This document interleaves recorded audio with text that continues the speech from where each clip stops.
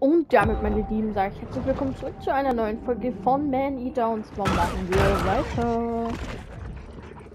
Ich habe ja gehofft, dass ich noch ähm, das Dings zusammenkriege. Äh, wartet. Ähm, das Dings. Mhm. Und zwar das Herzlich. Und zwar brauchen wir dafür 10.000 Mineralien. Und ähm, leider habe ich es jetzt noch nicht geschafft, das wieder zusammenzufarmen. Ähm, dann würde ich sagen, würde ich sagen, knabbern wir uns mal so ein bisschen schildkrötenmäßig durch.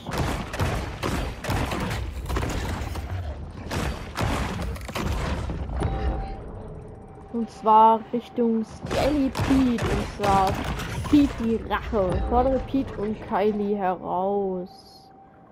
Na klar, machen wir das. Ähm.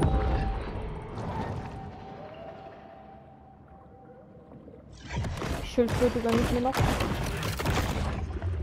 Und los geht's.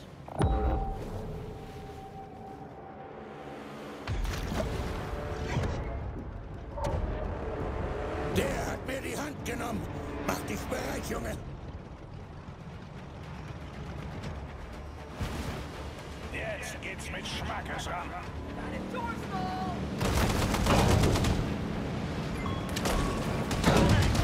Das ist seewasserfestes Aluminium.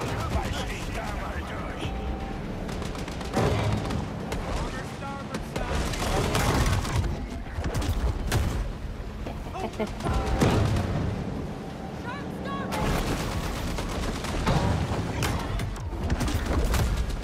Jawohl.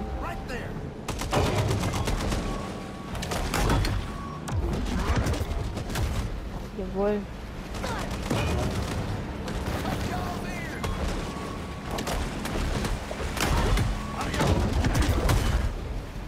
Jawohl.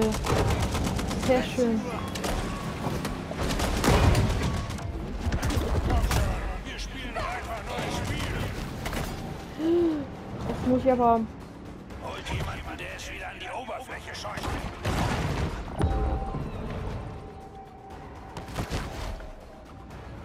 Wir brauchen mal ein bisschen.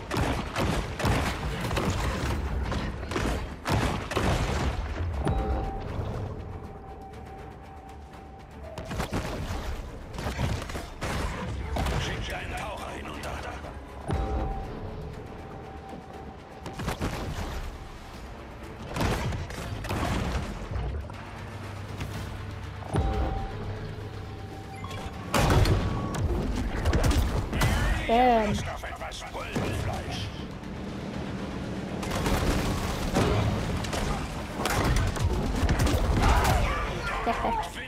Jawohl. Brauchen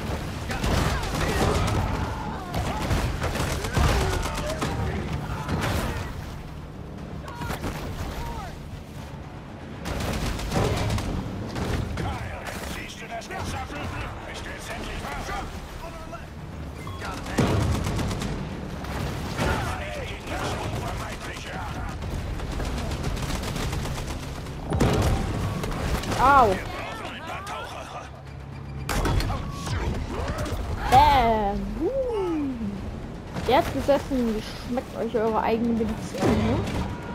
Bam. Geschafft. Scaly Pete bleibt entschlossen. Wo ist sie? Ich weiß nicht. Groß genug, um dich zu prügeln, oder?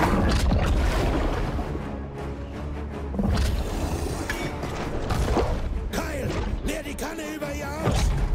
Zum Teufel mit dir!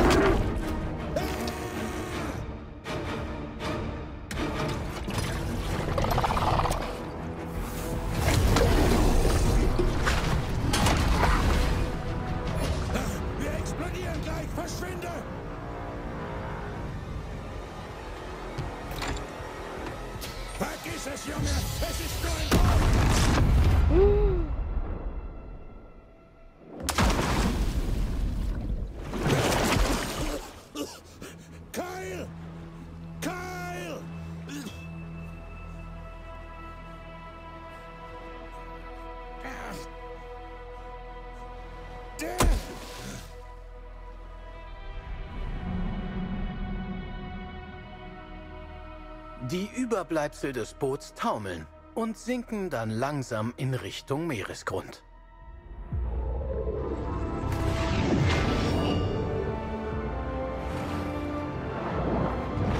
Der Hai ist nun im mittleren Alter und beginnt einen neuen Kampf gegen die systematische Altersdiskriminierung. Älteres Tier. Jawohl. Wir sind nun größer, stärker und gefährlicher. Ja, ich würde sagen, wir bleiben noch ein bisschen hier, werden uns jetzt noch ein bisschen vergnügen mit den Menschen. Klingt irgendwie total brutal. Voll mein Ziel. So. Wieder einmal wird Ei. aus der stillen schönen See ein Meer aus Blut. Genau, wir hätten nämlich Ernst, Tyler, Dixon noch. Ähm, wir sollten vielleicht uns mal zu Niedertracht Rang 5 hocharbeiten. Ähm, ja, als nächstes würde es dann nach Prosperity gehen, also hier rüber. Da müssen wir nur von hier einmal kurz in dieses, in den Golf schwimmen. Also von hier in den Golf rüber und dann sind wir schon da. So, ne? Müssen halt nur mal kurz durch den Golf das Stückchen da schwimmen und dann schwimmen wir rüber nach Prosperity Sand. Aber ich würde sagen, ähm, ich möchte ja dann wieder eine neue Folge beginnen, aber das dann sonst zu kurz ist. Für sieben Minuten. Würde ich sagen, wir genießen das noch ein bisschen hier. Bleiben noch ein bisschen hier und knabbern ein paar Menschen rum. Und holen uns den Rang 5.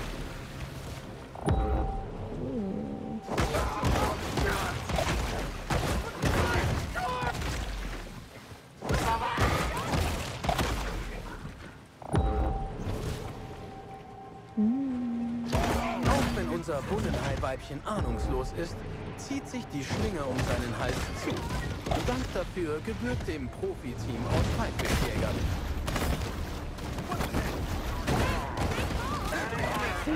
Vergesst gerade, ich habe das falsche Gebiss dran, ne? Muss noch mal kurz.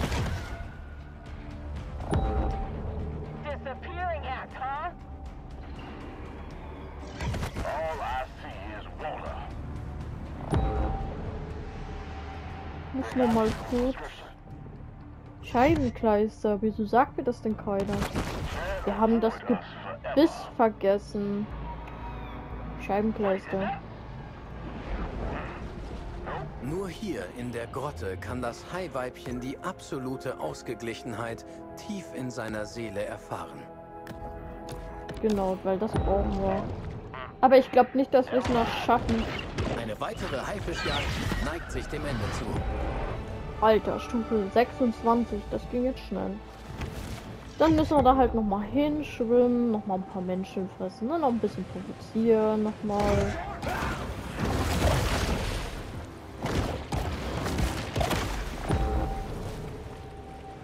Na, die Strandbesuche, die Strandgänger lassen wir mal lieber noch zufrieden. Also, mal eine Frage so nebenbei am Rande. Wie würdet ihr eigentlich reagieren, wenn neben euch plötzlich ein Hai schwimmen würde? Also, ihr würdet natürlich auch panisch rein sein, ne? Aber schreien wird, glaube ich, nicht ist durch die bringen. Also ich selber wüsste auch nicht, was ich machen sollte, weil ich bin jetzt auch nicht so der Meer-Fan, also so schwimmen gehen und so ist ja im Meer ist ja sowieso überhaupt nichts meins. Also bevorzuge dann lieber die Badewanne. geh da schwimmen. Also so Strand und Meer, da kann man mich einfach nicht begeistern. Ich bräuchte dann immer Flügel und so. Und da mich da den Strand packen und die Sonne genießen. Naja, das kann ich auch in meinem Garten. Also, da muss ich nicht extra an den Strand fahren. Also, keine Ahnung. Aber wie gesagt, was würdet ihr denn da machen? Also, wenn da plötzlich ein Hai neben euch auftaucht. Ja klar. Auch so, so schnell wie möglich wahrscheinlich äh, vom Strand weg halt. Äh, also vom Strand weg sei schon. Oh. Also halt, ihr wisst, was ich meine, halt raus aus dem Wasser, ist klar, ne? Oder hat vielleicht jemand sowas sogar schon mal erlebt, dass da ein Hai neben einen hergeschwommen ist? Also mir würde definitiv das Herz erstmal richtig in die Hose rutschen, ne? Und ich wüsste dann auch sofort erstmal nicht, was mache ich? Der erste Instinkt des Menschen ist ja Panik, losschreien und ja, losstrampeln und so. Ist das nicht eher das Verkehrte, da sofort loszustrampeln und so? Also ich weiß ja nicht. Deckt da nicht, dass er dann den Instinkt des Heils hinterher zu? Also, ne, wenn man sich das mal so durch den Kopf gehen lässt, also das ist ja dann doch ganz schön, also ganz schön heftig dann da. Und da plötzlich so ein Hai neben einen schwimmt, ne? So eine Flosse und du denkst so, oh fuck, bitte lass es ein Delfin sein. Aber die Flosse passt nicht dazu. Scheiße. Also wie gesagt, ich wäre definitiv total panisch und wüsste echt nicht, was ich da machen würde. Vielleicht würde ich sogar noch, würde ich sogar noch total, ich weiß nicht, in, wie nennt man das dann? So komplett in Starre verfallen, also ich weiß nicht. Ich wüsste da echt nicht, was ich machen würde. Weil heftig ist es ja schon, ne? Weil für 3% der Todesfälle unter Jägern verantwortlich. Drogen, Alkohol und unsachgemäßer Umgang mit Schusswaffen machen den Rest aus. Ah, okay.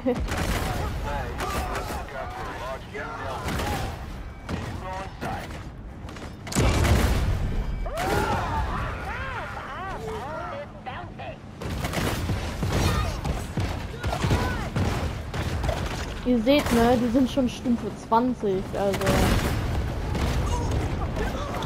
je länger wir das machen, ne, umso höher werden die natürlich. Ne?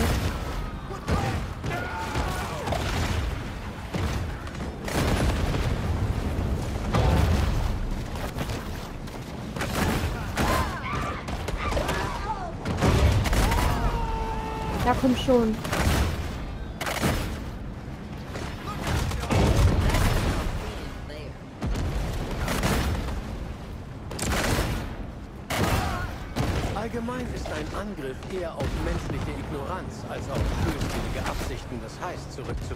Jawohl, jetzt holen wir einen ran. Der Hoosier Hitzkopf, Fenrich Tyler Dixon.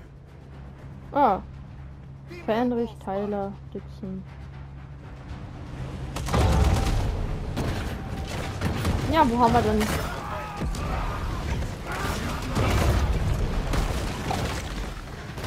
Haben wir ihn doch nicht erwischt? Wir haben ihn erwischt. Wir haben ihn erwischt. Trotz zunehmender Überwachung aus der Luft ist das Vertrauen von Touristen und Einheimischen verschwindend gering. Man muss drei Stunden trainieren und 8 Dollar bezahlen, um ein offizieller Haifischjäger zu werden. Aber nur wenige Leute interessieren sich für die Formalitäten.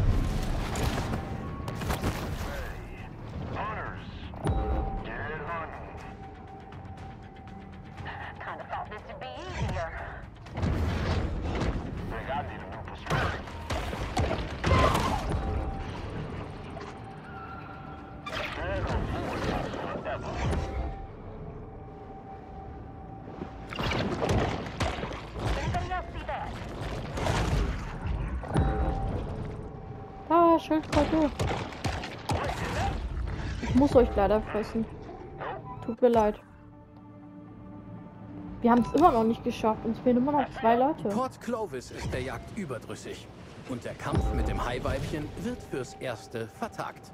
Müssen wir nochmal zurück und müssen nochmal mindestens zwei Stück fressen.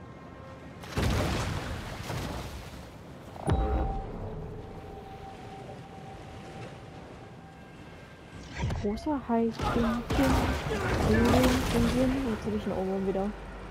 Dies war der einzige bekannte Lebensraum des gefleckten Küstensperlings. Aber wie ihr wisst, sind sie 2007 ausgestorben. Okay. Müssen wir noch mal einmal rumschwimmen. Ach stimmt, wir haben ja was Neues gekriegt, ne? Mensch, Leute, das habe ich total verpeilt. Genau, Fettverdauung. Die Evolution erhöht die Menge an Fett und Gesundheit, die, durch beim die du beim Fressen erhältst. Passiv 10% Fett, 10% Gesundheit durch Fett, durch Futter. Also, ja. Das verbessert natürlich das Farmen an Fett. Oh, geil, wir hätten sogar dieses Her äh, herzlich zusammen. Oh geil, wir haben das sogar echt schon zusammen. Ich hätte es jetzt echt nicht gedacht, ne? Ging es doch schneller als ich dachte. Oh scheiße.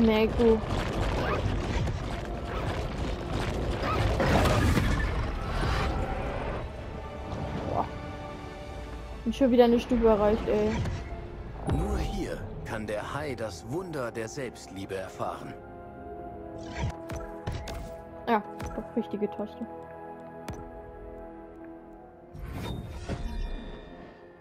Jetzt müssen wir noch mal ein bisschen was zusammenbauen. Schade.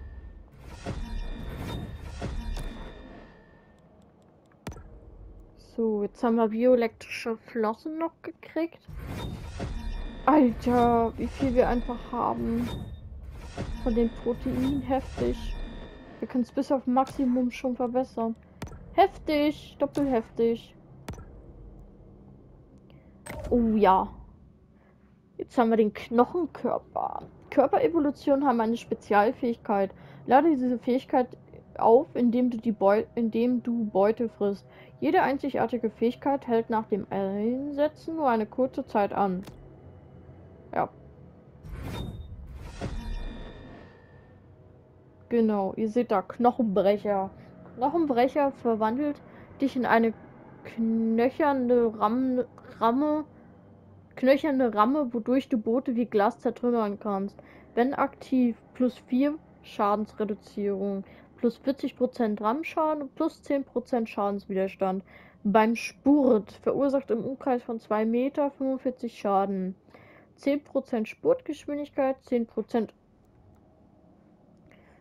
10% Maxgeschwindigkeit, 10% Beschleunigungsbonus, 20% Rammkraftbonus, Chance die Besatzung durch Rammen vom Boot zu werfen, 20 Prozent.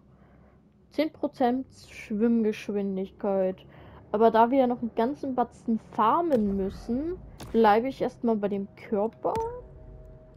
Weil wie gesagt, ihr seht, wir sind hier noch nicht fertig. Und das erhöht halt das prozentuale Farmen. Diesen Körper, also diesen Körper, Tigerkörper, gibt es nur durch einen Code. Nochmal, es gibt den bloß durch einen Code. Also den habe ich bloß durch einen Code erhalten, der in der Box halt mit dabei war. Der war in der Box mit enthalten. Im Spiel. Sagen wir mal so, ich habe es mir mehr oder weniger von meinem Freund geliehen.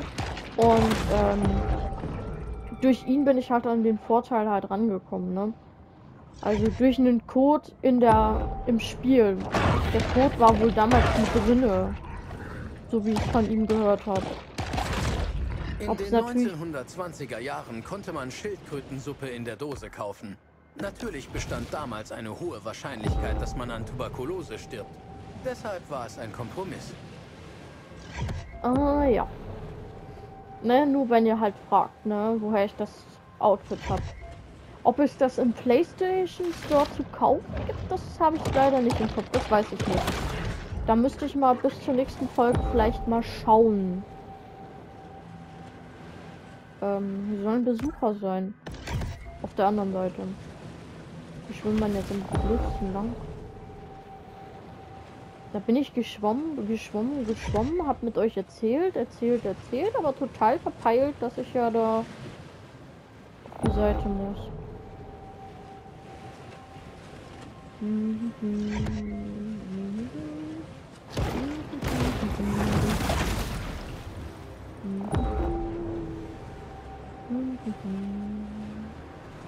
Mm-hmm.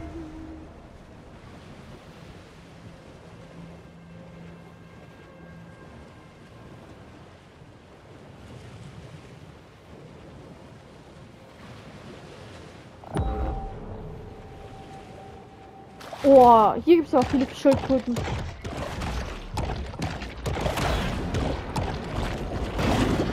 In dieser Welt, in der das Motto fressen oder gefressen werden gilt, gibt es wenig Platz für Fehler oder Sentimentalität. Einfach mal einmal komplett durchgesnackt. Dim, dim, dim,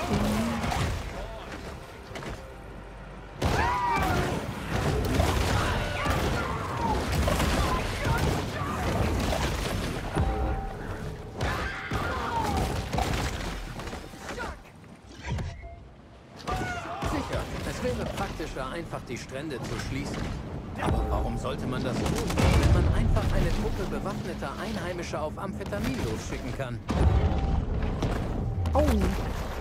Clear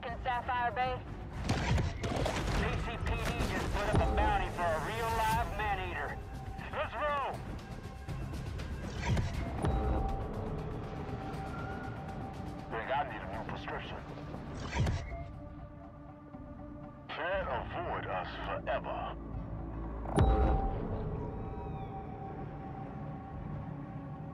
Ganz schön nervig. Oh, ich sehe gerade, die Zeit ist schon wieder rum. Ähm, ich würde dann sagen, dann treffen wir uns Die Jagd am... ist vorbei. Und bei Flamingo Joes wird es zweifelsohne in der Kasse klingeln. Dann würde ich sagen, treffen wir uns das nächstes Mal bei Prosperity Sound. Also kurz vor der Grenze, würde ich dann sagen. Ähm, dann treffen wir uns da an der Stelle wieder. Ich bedanke mich recht herzlich, dass ihr eingeschaltet habt. Und sagt bis zum nächsten Mal bei Man Eater. Und dann geht es hier weiter. Uh, da ist noch eine Kiste. Bleibt dran, bleibt gespannt. Bis dahin sage ich ciao, ciao und bis dann.